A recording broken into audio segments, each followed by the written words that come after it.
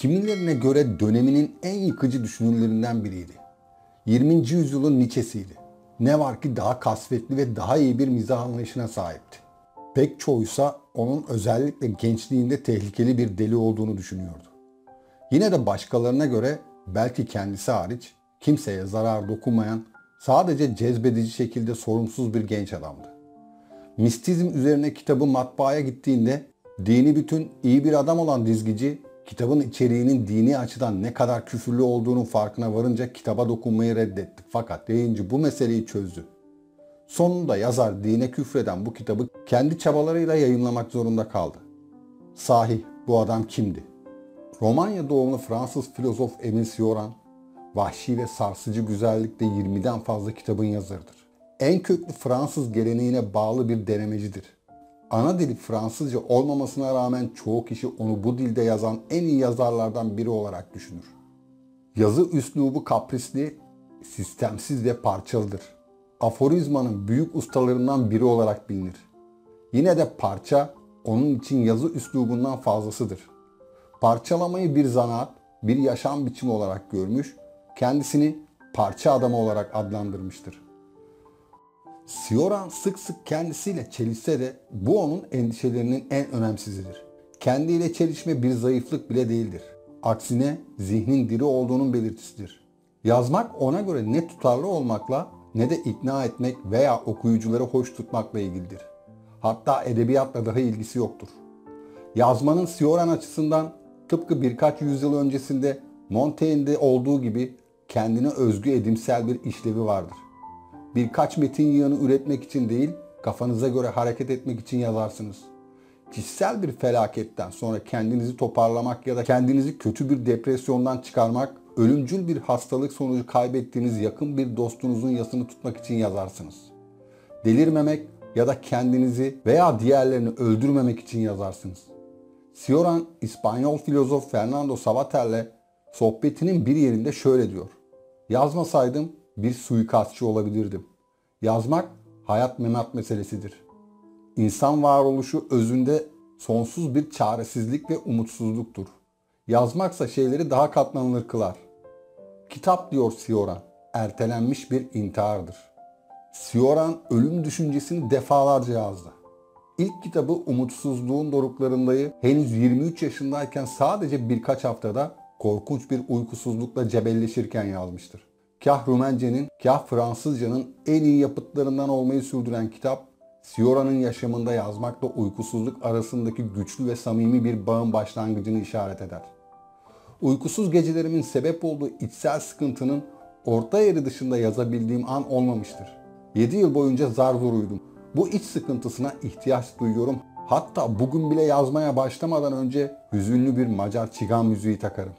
Siora'nın sistemsiz bir düşünür olması yapıtlarında birliğin olmadığı anlamına gelmez. Tam aksine yapıtları yalnızca emsalsiz yazma ve düşünme tarzıyla değil, aynı zamanda bir dizi ayırıcı felsefi temalar, motifler ve mizaç farklılıklarıyla da sımsıkı şekilde bir arada durur. Bunlar arasında başarısızlık belirgin bir şekilde rol oynar. Sioran başarısızlığa takmış durumdaydı. Başarısızlık hayaleti en başından Rumence yazdığı kitabından itibaren yapıtlarında dolaşır. Sonrasında yaşamı boyunca başarısızlıktan uzak kalmadı.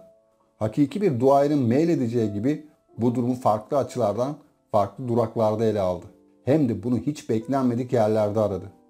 Sioran'a göre yalnızca bireyler kendilerini başarısızlık halinde bulmaz. Aynı zamanda toplumlar, halklar ve ülkeler de böyledir. Özellikle de ülkeler. Bir keresinde İspanya'ya hayran kalmıştım diyordu Sioran. Zira İspanya başarısızlığın en muhteşem örneğini sunuyordu. Dünyanın en büyük ülkesi olarak bir tür çürümeye düşmüştü. Başarısızlık her şeye nüfuz eder. Nasıl kitaplar, felsefeler, kurumlar ve siyasi sistemler lekelenebiliyorsa, büyük fikirler de başarısızlıklarla lekelenebilir. İnsanlık durumunun kendisi Siora'nın başarısızlığa uğramış başka bir tasarısıdır. Doğmuş olmanın sakıncası üstüne de artık insan olmak istememek diye yazar. Başka bir sefalet biçimi hayal etmek. Evren büyük bir başarısızlıktır. Dolayısıyla yaşamın kendisi de öyle. Sioran temel bir yanılgı olmasından da evvel diyor. Hayat ne ölümün ne şiirin düzeltmeyi başarabildiği bir zevksizliktir. Başarısızlık eski ahitin kaprisli tanrısı gibi dünyada hüküm sürüyor. Siora'nın aforizmalarından biri şöyle diyor. Benim ipimle kuyuya inmeyecektiniz. Bu dili kim tutturabilir? Tanrı ve kaybeden. Sioran başarısızlık hakkında çok iyi konuşabiliyordu. Zira başarısızlığı içten içe biliyordu. Gençliğinde yaşamı boyunca pişman olacağı yıkıcı siyasi tasarılara dahil olmuş, ülkeler ve diller değiştirip her şeye baştan başlamak zorunda kalmış, sürekli bir sürgün halinde ve sıra dışı bir yaşam sürmüş, neredeyse hiç çalışmamış ve neredeyse hep yoksulluk sınırında yaşamış biriydi. Başarısızlıkla derin bir yakınlık kurmuş olmalıydı. Hatta bir nevi doğal yeteneğiydi. Faydalı bir başarısızlık vakasına nasıl değer biçeceğini, gelişimini nasıl gözlemleyeceğini ve karmaşıklığının zevkine nasıl varacağını iyi biliyordu. Başarısızlık indirgenemez biçimde biriciktir. Başarılı insanlar her zaman aynı görünmeyi becerirler ama başarısız olanlar çok farklı biçimlerde başarısız olurlar. Her bir başarısızlık bir dış görünüşe ve onun kendi güzelliğine sahiptir. Başarısızlık Sioran gibi kurnaz bir ustayı bayağı görünümlü ama aslında gürültüden ve vasatlıktan beslenen büyük başarısızlığı aktarması için kendine seçer. Sioran önce kendi topraklarında Romanyalı arkadaşları arasında başarısızlıkla karşılaştı. Uzun zamandır Avusturya Macaristan İmparatorluğu'nun parçası olan, çok geçmeden 1918'de Romanya Krallığı'nın bir parçası olan bir merkezde Transilvanya'da doğup büyüdü. Bugün bile Transilvanyalılar sıkı bir çalışma etiği ve ciddiyet sergilerler. Disiplin ve öz denetimi el üstünde tutarlar. Fakat Sioran ülkenin güneyinin başkenti Bükreş'te koleje gittiğinde tamamen yeni bir kültürel evrene adım atmış oldu. Burada kazanma becerileri farklıydı. Hiçbir şey yapmama sanatı yani hafif bir oyunculuktan tutun açık biçimde alaycılığa kadar sofistiklere özgü entelektüel sağlamlık, ertelemeyi meslek, yaşamı heba etmeyi zanaat edinme hakimdi burada. Bir felsefe bölümü öğrencisi olarak Sioran, Bükreş'teki en iyi sanatçılarından kimileriyle temasa geçti. Bazılarının sergilediği entelektüel parlaklıkla çarpıcı bir kişisel başarısızlık hissinin karışımı onun koşulsuz sürekli hayranlığını kazandı. Bükreş'te pek çok insanla tanıştım. Birçok ilginç insanla. Özellikle de kafede ortaya çıkan, durmadan konuşup hiçbir şey yapmayan kaybedenlerle. Şunu söylemeliyim ki bunlar bana kalırsa en ilginç insanlardı. Yaşamları boyunca hiçbir şey yapmayan ama başka türlü parlak olan insanlar. Yaşamının geri kalanında Sioran ülkesi bildiği başarısızlık topraklarına içten içe borçlu kalacaktı. Bunda haklıydı da. Zira Rumenler başarısızlıkla eşsiz bir ilişki kurar. Tıpkı Eskimoğların kar için sayısız sözlerin olduğu gibi Rumen dili de başarısızlıkla ilişkilendirilmiş bir sürü sözcüğe sahip görünür.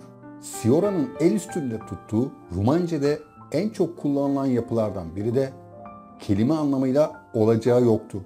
Fakat daha ziyade kaderciliğe vurgu yapan bir ifade. Bu ülke altın madeni adeta. Sioran pek iyi bir insandan kaçandı. Fakat anlayış ve merhamet beslediği tek bir insan türü olsaydı bu ancak başarısız biri olurdu. 1941'de Paris'te Rumen bir arkadaşına şöyle itirafta bulunur. Rumen halkının özel kullanımı için alt başlıklı bir başarısızlık felsefesi yazmak isterdim. Ama bunu yapabileceğimi sanmıyorum.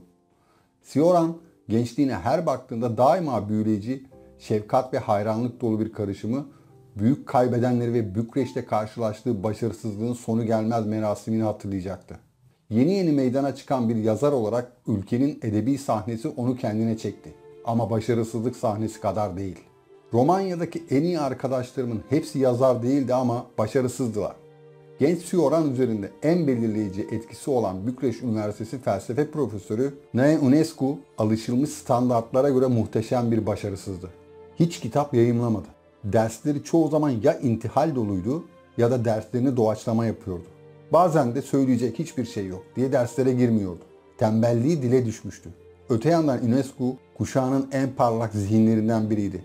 Pek çok birinci ağızdan habere göre bir dahiydi. Hep filozof kalan UNESCO küçük bir başarısızlık kuramı bile geliştirmişti ama gereğine uygun şekilde yayımlamamayı tercih etmişti. Yine de Sioran kendini başarısızlığın mesafeli bir gözlemcisi olarak görmekten hoşlanmıyordu. Başlarda kendi kendine alıştırmalar yapmaya başladı ve sonunda kendi tarzını buldu.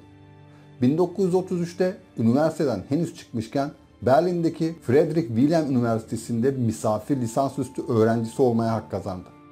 Almanya'ya varmasıyla birlikte dumanı üzerinde Nazi rejimine hayran kalmıştı.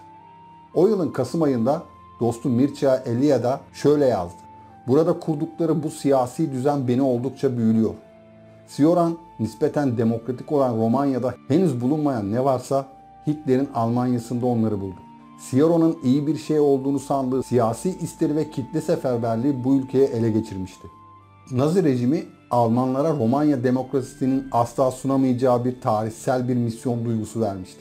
Başkaları o zamanlar Almanya'daki bu tarihi bölümü bir felaketin başlangıcı olarak görürken Sioran sadece umut ve tarihsel izzet olarak gördü. Peki Hitler'i bu kadar büyük yapan şey tam olarak neydi? Nesnel bir gözlemci gibi emin olmaya çalışan Sioran bu soruyu Hitler'in Alman halkının akıl dışı dürtülerini uyandırma kapasitesi olarak cevaplar. Neredeyse 22 yaşında tüm ciddiyetiyle başarısızlığı deneyimlemeye başlar. Sioran, Almanya'da Hitler'in kurmuş olduğu kendi ülkesinde yeterince olmayan bu yüzden de bir benzerinin ortaya aktarılmasını istediği tırnak içinde erkeksi düzene adeta vurulmuştu. Başka bir arkadaşı Petru Komarnescu'ya mektubunda şöyle yazıyordu. Burada gördüğüm şeylerin çoğuna katılıyorum. Bizim işe yaramazlığımızın diktatör bir rejim tarafından yok edilmese bile bastırılacağına ikna oldum. Romanya'da ancak terör, vahşet ve sonsuz kaygı bir miktar değişikliğe yol açabiliyor. Tüm Rumenler tutuklanıp eşek sudan gelinceye kadar dövülmelidir. Ancak böyle bir dayaktan sonra yüzeysel insanlar destan yazabilir. Eğer Sioran kendisiyle çelişmeseydi bir hiçti. Sioran'ın daha sonra önemsizliğin dramı olarak adlandırdığı Romanya'nın Başkalaşımı adlı kitabının bir yerinde Romanya'nın geçmişini yoğun bir kinle sevdiğini, geleceğine dair büyük hayalleri olduğunu yazıyordu. Çin'in nüfusuyla Fransa'nın kaderinden oluşan bir Romanya'dan başka bir şey tasavvur edemiyordu. Ülke iyi de sadece zaman zaman biraz silkinmeye ihtiyacı var. Her şeyden önce tarihin içine itilmiş olması gerekiyor. Tam anlamıyla kastettiği şeyi söylemeyip yalnızca hezeyan içinde olan bir Romanya'yı sevebileceği konusunda bizi temin etmek adına bir ipucu verir. Zira böyle mağrur sonlara giden her türlü yol mubahtır. Siora'nın bizzat belirttiği gibi dünya üzerinde kendine bir yol açan insan için tüm vasıtalar meşrudur. Terör, suç, sapkın mukarenet ve kalleşlik ancak çöküşte alçakça ve ahlaka aykırıdır. Ama eğer bir insanın yükselmesine yardımcı olurlarsa erdemdir. Tüm zaferler ahlakidir. Yine testosteron siyaseti, yine Çin iktidarın erotizmi. Siora'nın Almanya'da gördüğüne benzer akıl dışı bir diktatörlük ancak bu ülkeyi kendi kendisinden kurtarabilir. Başarısızlık seni ezmeden önce onunla ne kadar süre oynayabileceğini merak edersin kimi zaman. Başarısızlık söz konusu olduğunda bir düşünür, genç Sioran kadar herkesin bildiği sorumsuz biri bile olsa buraya kadar neredeyse hiç alçalamazdı. Tıpkı demokratik fikirli arkadaşlarının zamanında sorduğu gibi neyi var bu adamın diye sorarsınız belki. Sonraki yıllarda Siora'nın kendisine bunaltıcı kaçınılmazlıkla tekrar tekrar bir soru musallat oldu. Faşist yanlısı siyasi duruşunun büyüklüğüyle karşı karşıya kaldığı ilk anda savaşın bitiminden kısa bir süre sonra Romanya'nın dönüşümünde ve siyasi gazeteciliğinde kendi varlığını neredeyse hiç kabul etmiyordu.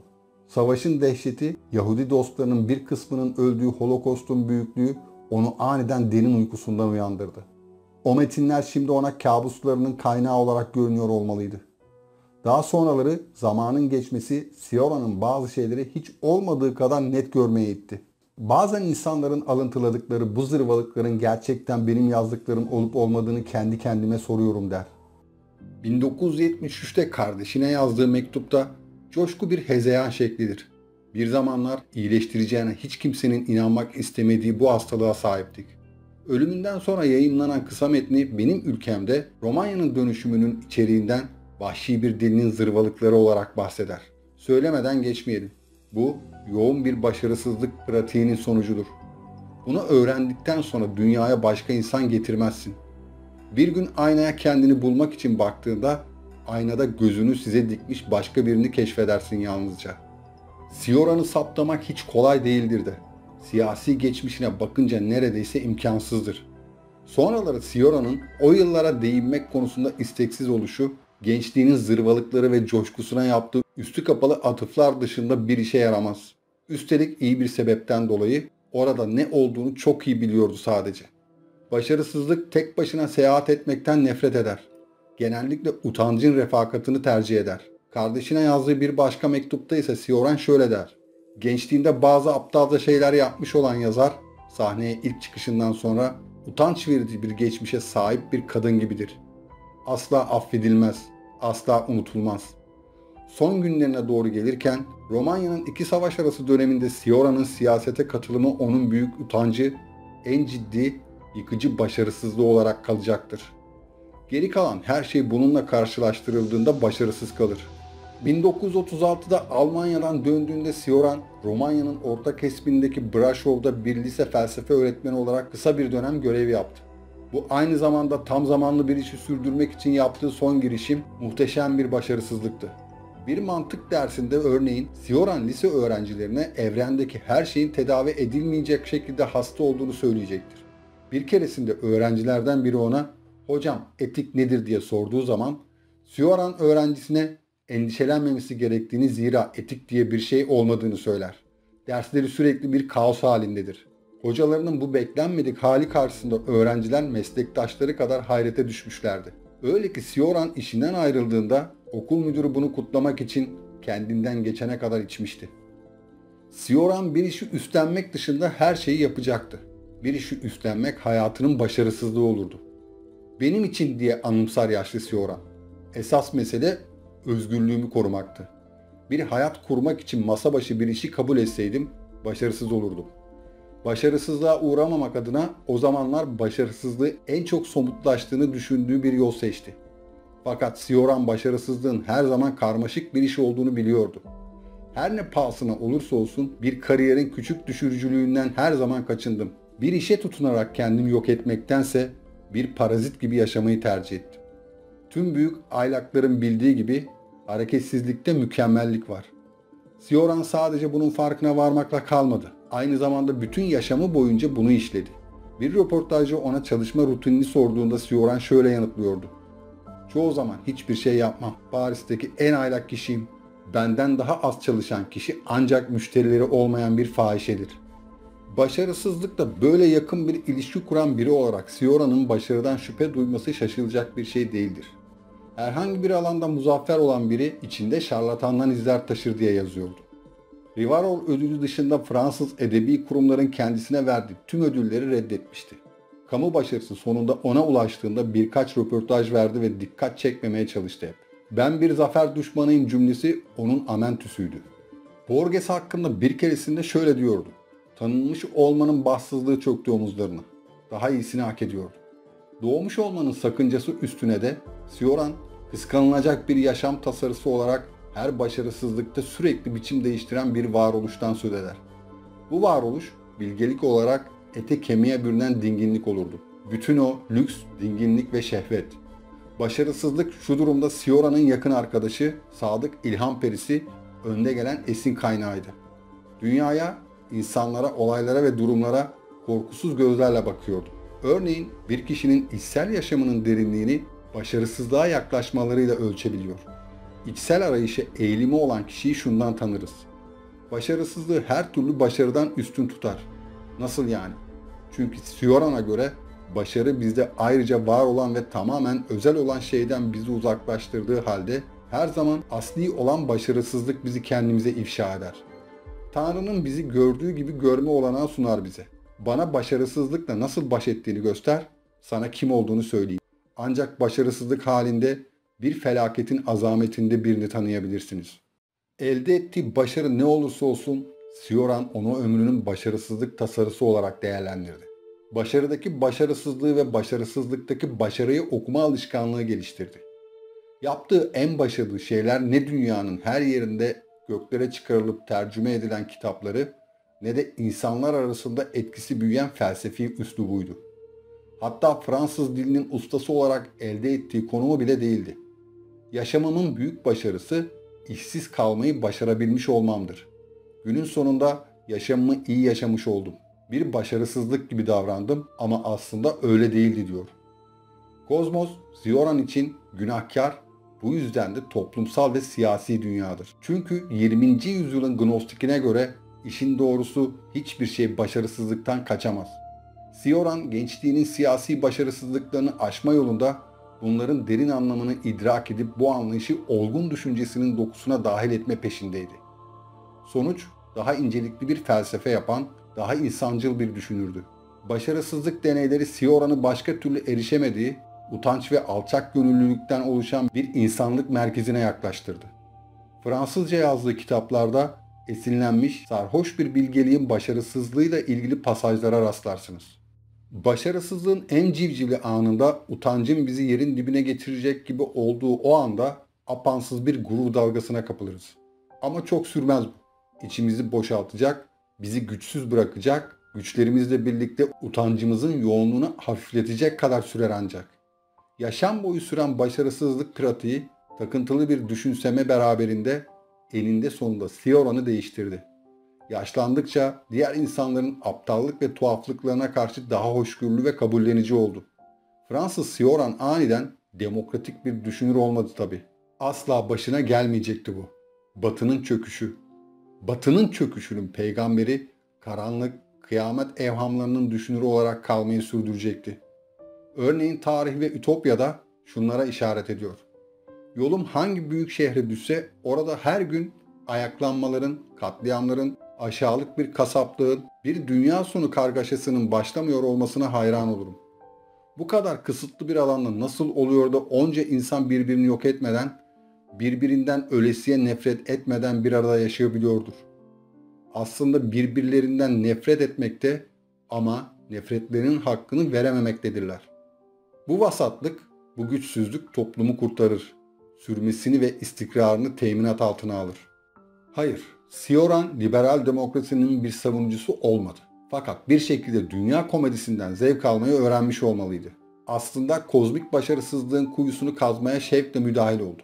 Sioran'ın sonraki düşüncesi terimin tam anlamıyla neşeli umutsuzluk olarak adlandırılabilecek özgün bir özellik sergiliyordu. Aynı örüntü tekrar tekrar. Bir şey korkunç, düpedüz berbat, yine de bir şekilde o berbatlık içinde ortaya çıkar. Kurtuluşunun tohumları burada yatar. Yaşam dayanılmaz olabilir. Uykusuzluk bir katildir. İç sıkıntısı yavaşça içinizi kemirip durur. Yine de yazarak üstesinden gelebileceğiniz bir şeydir bu. Sioran ifade edilmiş her şey daha hoş görülebilirdir diye ilan eder. Yazmak bu işi yapanlara göre hareket eden ve onların yaşamlarını daha katlanılır kılan görkemli bir büyücülüktür. Olumsuz olan şey asla saf bir hal almaz. Onu çürüten bir şey vardır daima. Her felaket mümkün olduğu ölçüde kendi kurtuluşunu kendi içinde taşır. Siora'nın geç dönem yazılarında en çok ilgi uyandıran şey onun siyasi bir eleştirmen duruşudur. Tarih ve Ütopya'da iki toplum cinsi üzerine uzaktaki bir dosta mektup adlı bir bölüm vardır. Bu metin aslında bir mektup olarak yazılmış, ilk olarak 1957'de yayınlanmıştır. Demir perdenin ardında rahatça yaşayan uzaktaki dost aslında Rumen filozof Konstantin Noça'nın ta kendisidir. Sioran bu mektubunda her zamanki gibi Doğu Avrupa'da Sovyet Rusya'nın kurduğu siyasi rejimi önemli bir felsefi düşünceyi alay konusu yapmak üzere zıpkınlar. Sizin rejiminize edilebilecek sistemlerin en büyüğü diye yazar. Kurumların ve halkların kendilerini yenileme ilkesi olan Ütopya'yı mahvetmiş olmasıdır. Sioran yerleşmesi ve devamlılığı için Rus tanklarına ihtiyaç duyan bir rejimi destekleyemiyordu. Böyle bir komünist siyasi rejim komünist düşüncenin kendisini çoktan öldürmüştü. Daha da önemlisi gel gelelim Sioran aynı mektupta Batı'yı da neredeyse aynı şiddette eleştiriye maruz bırakır. Bir mektupta hoş görülemeyecek iki toplum cinsiyle karşı karşıyayız diye yazar. Vahim olan şey de sizinkindeki suistimallerin buradakine kendi suistimallerini pekiştirme, kendi rezilliklerini sizin orada işlenenlere karşı başarıyla çıkarma fırsatı vermesi. Batı uygarlığı kurtardığı için hiçbir zaman böbürlenmemelidir. Gerileme zaten oldukça ilerlemiş durumdadır Sioran'a göre. Bir ihtimal görünüşler hariç artık hiçbir şey kurtarılamaz. İki toplum cinsi olmasına rağmen bunlar birbirinden farklı değiller. Son tahlilde bu sadece nüans meselesidir. Rejimler arasındaki farklılık göründüğünden azdır. Siz sonraki yalnızsınız. Biz dayatmasız yalnızız. Cehennemle hazin bir cennet arasındaki mesafe o kadar mı büyüktür? Bütün toplumlar kötüdür ama bunun dereceleri olduğunu kabul ediyorum. Eğer bir toplumu seçtiysem beterin nüanslarını ayırt etmeyi bilmemdendir. Bütün o çözümlemeli ve stilistik meziyetlerine rağmen Siora'nın mektubu siyasi bir gafa dönüştü. Muhatabı Romanya'nın kırsal kesimlerinde göze batmamaya çalışan Konstantin Noça yazışmaları ciddiye alarak okuma alışkanlığına sahipti ve Siora'nın metinleri Noça'yı kendisine ait keskin felsefi bir denemeyle karşılık vermesi için onu teşvik etti. Noça aynı zamanda son derece naif bir insandı. Denemeyi tamamladıktan sonra Paris'teki arkadaşına yolladı ve zarfa olması gerektiği gibi sokakta bulunan bir posta kutusuna bıraktı. Bu karşılıklı haberleşme ülkenin bütün posta kutularının üzerinde bulunan parmak izlerini elinde bulunduran Romanya gizli polisinin gözünden kaçmamıştı. Fakat bu isimlerin felsefi anlayışları biraz farklıydı. Sonuç olarak Noça buna dahil olduğundan birkaç yıl siyasi hapiste bunun bedelini ödemek zorunda kaldı. Sioran arkadaşının tutuklanıp hapsedilmesiyle ilgili haberleri öğrenince sahiden ne kadar da dipsiz bir başarısızlık olduğuna şaşırmış olmalı. Ne olursa olsun başarısız olmadan duramıyor insan. Sioran 20 Haziran 1995'te öldü. Gel gelelim bir bakıma ölmeden önce çoktan ayrılmıştı. Son birkaç yıldır Alzheimer'dan muzdaripti. Paris'teki Broca Hastanesi'nde doktorların gözetimindeydi. Böyle bir sondan açık şekilde korktuğu için intihar etmeyi planlamıştı. Sioran ve uzun zamandır eşi olan Simon Boy birlikte öleceklerdi. Fakat hastalık daha hızlı davrandı. Plan başarısız oldu ve Sioran ölümlerin en alçaltıcısı olan yıllarca süründüren hastalıktan ölmüştü. Başlangıçta sıkıntı veren tek tük işaretler vardı.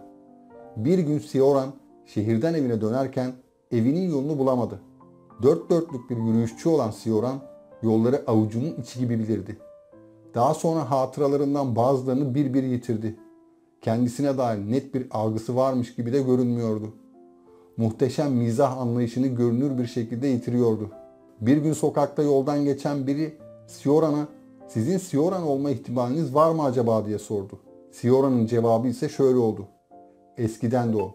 Fakat bu işaretler arttıkça arttı ve giderek ciddileşti. Sioran endişe verici oranda unutmaya başladı. O kadar ki gözlem altında tutulmaya başlandı. Neticede sözcükler onu yanıltmıştı. Döneminin en parlak yazarlarından Sioran artık çoğu temel şeyi adlandıramaz olmuştu.